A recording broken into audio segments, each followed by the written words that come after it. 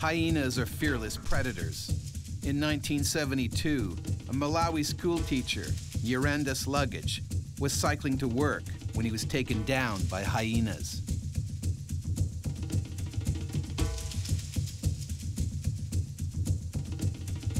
He knew there'd be nothing left of him if they dragged him away.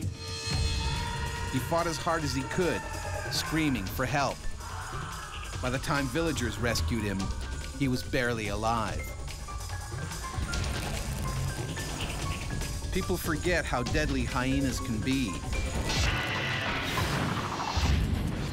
Danny Terblanche wasn't scared of them until one tried to eat him alive.